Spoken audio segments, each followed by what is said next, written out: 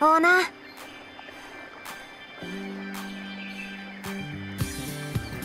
ー珍しいねこんなとこに。ちょっと待って。よ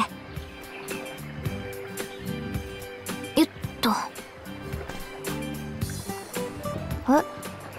こんなとこにはこっちのセリフ？いい景色だったから写真撮ってた。そしたらオーナーが見えてさ。オーナーは？今仕事中？ああうん。大したことじゃないんだけど。私もついてっちゃダメかな。どうしてって。ちょっとだけ気になったから。普段どんな仕事してるのかなって。ヴィーナスを輝かせるって何するの？私も一応ヴィーナスだし。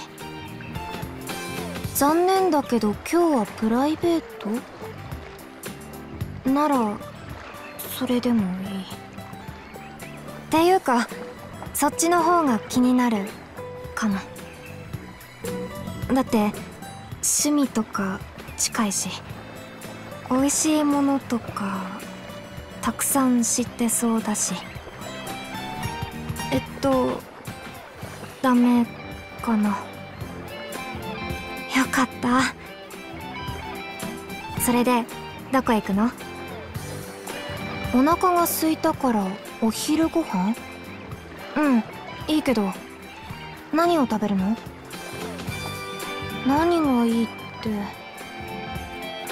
オーナーのプライベートなんだし。オーナーが好きなもの選んでよ。えラーメン？ううん。嫌じゃないよ。私もラーメン好きだから。やっぱりオーナーとは話が合うのかも。